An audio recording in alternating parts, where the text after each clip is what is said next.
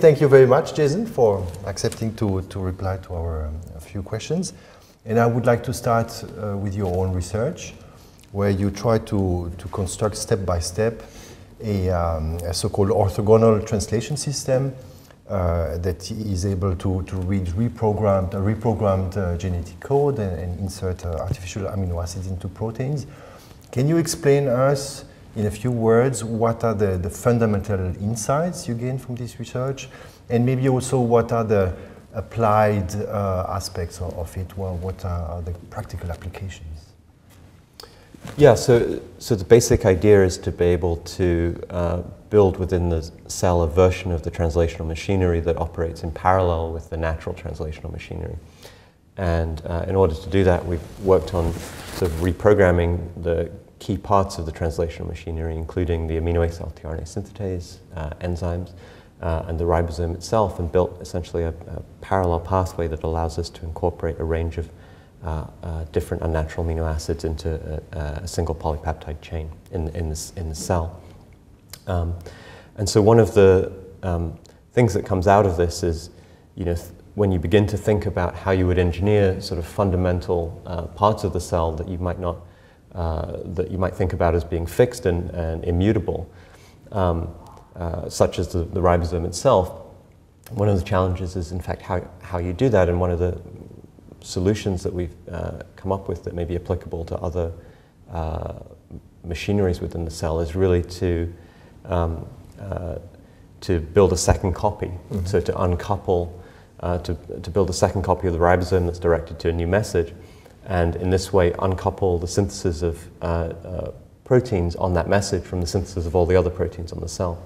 And so that has sort of two um, uh, sort of fundamental implications. One of the implications is then that um, that version of the ribosome is then uh, sort of evolvable in the laboratory, if you like, in a way that the natural ribosome is not, because this ribosome is now only making proteins from this one message, uh, whereas if you try to make mutations in the natural ribosome, which is making all the uh, proteins in the cell, that actually you know, is likely to have a dominant negative effect or mm -hmm. be problematic for protein synthesis in the cell and therefore have an effect on the, on the, ultimately on the biology and the health of the cell. Um, and so I think one sort of insight uh, uh is, is, is really how you think about actually um, the, the, the, types of things in biology that might actually be amenable to engineering if you can build these sorts of orthogonal versions of them uh, that allow you to then, to then engineer them. Now, if you have this, this parallel system that lives sort of side by side with the endogenous one, is there a, a, possibility that it may start to compete with the endogenous one, evolve, and maybe take over? Uh, are there new forms of life that eventually could, could emerge? So, so one of the things we're certainly interested in is whether um, if you can build an entirely parallel system where you're making, uh, you know, not just proteins containing a few unnatural amino acids, but maybe um, you're able to reprogram uh, protein translation and mm-hmm. reprogram the ribosome to make entirely new uh, types of polymers. You know, maybe then you can uh, ask, you know, whether actually uh, maybe not a competition between the two systems, but whether actually uh, when now you've got this ability to, uh, to have an organism that has an additional class of biopolymers, whether actually you can evolve those biopolymers to take on functions in addition to the functions that are carried out mm -hmm. by, by natural uh, biology that's arisen by natural evolution. And then the question is, you know, can you then do um, things with a new class of polymer that you couldn't do with an old class of polymer? And I think those are open and interesting questions. And the ability to do this in cells and to actually couple not just the ability to, to encode uh, new amino acids or new monomers into new types of polymers, but the ability to then um, use the processes of evolution uh, naturally or synthetically in the laboratory to actually ask directed questions about what you can then do with that, um, uh, not just with those polymers, but with the organism that's endowed with them. Now you have started by recording the, the, the genetic code and, and, starting with the translation, which is really the core of the, of the central dogma. But could you um, imagine to extend now the approach to ev evolve um, orthogonal systems for DNA replication, for membrane biogenesis, or mm -hmm. to other pathways? You know, we've certainly been interested in, for example, um, uh, coupling or making uh, genes that are not just regulated by orthogonal translation, but also um, taking a, a, gene which is recognized uh, by essentially an orthogonal polymerase in the cell to make the mRNA, and then that gene be translated by an, uh, by an orthogonal ribosome. So you basically then end up with a genetic element in the cell which is unreadable by the host, both at the transcriptional or the translational level. And that has some interesting consequences because then both the host, then both the polymerase, the RNA polymerase, and the ribosome are non-essential to the host. And so you can start to actually build uh, different types of regulatory circuits, in fact, that you can't build um, uh, using the endogenous polymerase or the endogenous ribosome because they're both essential. And now, your, your background uh, by training, I think, is uh, chemistry. Mm-hmm. And of course, your work is re engineering uh, essential parts of, of, of, a cell. So, what sort of synergies or interactions do you see between the two young fields of chemical biology and synthetic biology? Yeah, so I mean, so one thing we've started recently at the Medical Research Council Laboratory of Molecular Biology is the Center for Chemical and Synthetic Biology. And really the idea is to, um, uh, is to sort of make the connection between, you know, the idea that, that um, really both these fields are involved with synthesis. They're just involved with synthesis using different types of techniques. And in one case, you're using the techniques of genetic engineering to ask questions about how you can synthesize biological molecules to build pathways and control phenomena at the level of molecules and cells, but then entire pathways. Uh, and, and, chemical synthesis is classically dealt with you know, the ability to construct small molecules atom by atom. And really, you know, what we'd like to be able to do is to construct small molecules atom by atom, add those to cells, and to, and to build within the cells biosynthetic pathways that allow the cell to use those molecules to, for example, make proteins containing those uh, containing those molecules that confer particular properties on the protein. Um, and so we see the power of putting those things together um, to, to really actually um, uh, you know, try and get more than you would get out of doing either one of them individually. Mm-hmm. Mm-hmm. And with your system, you can engineer now proteins at a very detailed level, almost at the atomic uh, mm. level. Do you think this will provide tools to do sort of in vivo biochemistry that you can observe in real time, real space biochemical reactions?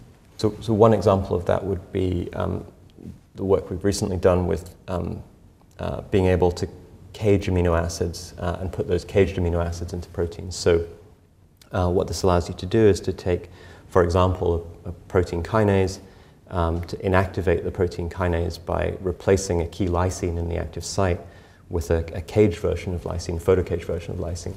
And now what this allows you to do is to shine light on the cell now, can, this is a mammalian cell in this case, uh, containing, this, uh, containing this kinase and to activate the kinase. So now if you think about a, a signaling pathway where you have many kinases and maybe you, uh, you activate ex- uh, the extracellular uh, surface at the receptor, you know, typically you'd activate at, at, the receptor and then you maybe measure some, uh, some phenomena downstream of the receptor. But actually, if you can uh, you know, take an arbitrary kinase in that pathway and turn it on, uh, and then just watch the elementary step from that kinase signaling to the next kinase, um, then this actually allows you to make, you know, um, uh, make quantitative measurements of um, uh, you know, what happens when I turn on this one kinase, what happens to the, the, you know, the next point, what happens at the next point in the pathway. Um, and this is important, you know, not just for for studying uh, the kinetics of elementary steps in, in, in, signaling, but also actually because you know um, many of the phenomena that are perhaps most interesting are, are, actually adaptive. And so what you want to be able to do is to make very precise, rapid perturbations, um, and then to be able to ask, you know, um, you know, uh, questions about the mechanism of adaptation. And, um, and you want to be able to make those perturbations on a timescale faster than the mechanism of adaptation. And do you think uh, you will be able to apply that also in vivo in the, in the mouse, for example, and sort of merge the field with uh, optogenetics and, and, I think it'll be possible to, um, I certainly hope it'll be possible to apply um, the types of approaches that we've developed or that we've demonstrated in mammalian cells um, to whole animals. So um, I mean, recently we've shown that you can incorporate um, these types of amino acids into C. elegans, which is the first multicellular organism that this has been done in. And so, one of the questions that we're very interested in is then um, if you take the, the idea of optogenetics, in which you basically put bacterial channels into, uh, in, into, into cells, for example, in the nervous system of, of an animal, and that gives you information about uh, uh, sort of neural connectivity and networks at the level of cell-cell communication. Um, but it's been much harder to get information at the level of endogenous pathways um, in terms of the molecular pathways right in the, in, in the brain. And so one of the sort of potential promises of these types of approaches is because you can put these amino acids into any protein that you like at any position that you like um, in proteins now in an animal, got, and you can control the properties of those proteins by shining light on, on and, and decaging those amino acids, you've got the possibility potentially of being able to basically do a version of optogenetics that deals not just with cell-cell interactions, but deals actually with controlling the endogenous signaling pathways that operate in and between cells. And so we think, actually, in terms of unpicking um, uh, signaling in the nervous system, that this is potentially a very powerful approach. What sort of advice do you give to your young people joining the lab, or what would be a general recommendation you would give to the next generation of, of scientists? You know, one of the challenges is, uh, which I think has always been a challenge in biology, is to train people in basically doing rigorous quantitative mm-hmm. uh, analysis, right? So, um, and, and to balance this out by actually, you know, stimulating an, an interest in just, you know, asking interesting and creative questions. Um, because I think both of these are, are, really important. I mean, obviously, you don't want to be doing very detailed analysis on something that ultimately is just not important. On the one hand, um, you need them to be able to, to think beyond actually the data um, because you need to be able to, at some point, you know, come up with models that you can test, and this is ultimately is a creative process. Uh, but then you can't be, you know, you then have to be able to analyze the data rigorously and not be attached to the details of any particular model.